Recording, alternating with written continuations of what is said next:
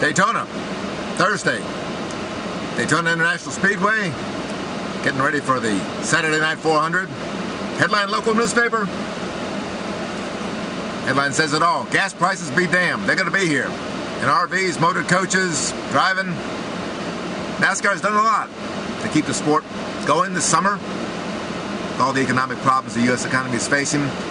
One thing they haven't done, they haven't done a thing about $200 a night hotel rooms. No wonder this city is almost deserted. Everybody's over in Orlando, cheaper rooms. And if NASCAR doesn't watch it, that's where the fans going to be. At Disney World, Epcot Center, and not at Daytona. We've already seen in February what's happening on Daytona Pole Day. Families that come down here for the 500, hey, they spend that weekend over in Orlando with all the amusement rides instead of watching guys go around in circles for three or four, five hours. They need to pick up some of the qualifying, make it a little more exciting. They also need to do something about these $200 night hotel rooms. Daytona Beach and some of these other towns around the country have been ripping off consumers of this sport for years. NASCAR's done very little about it. Grant Lynch has done something in Kansas City. Las Vegas has 140,000 hotel rooms and they do a pretty good job. Some of the major markets you can get good hotel rooms.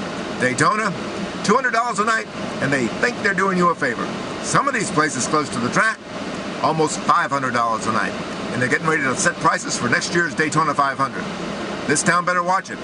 It's got a lot of condos, and it might not have a lot of race fans.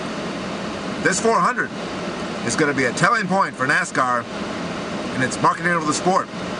July 4th weekend, typically a tough sell. Everybody goes to the beach. Well, this is the beach. But will people be here for the race?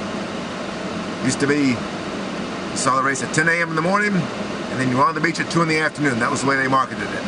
Then they moved it to Saturday night, TV. TV wants it, 8 o'clock, prime time, East Coast. Not a bad show under the lights at night.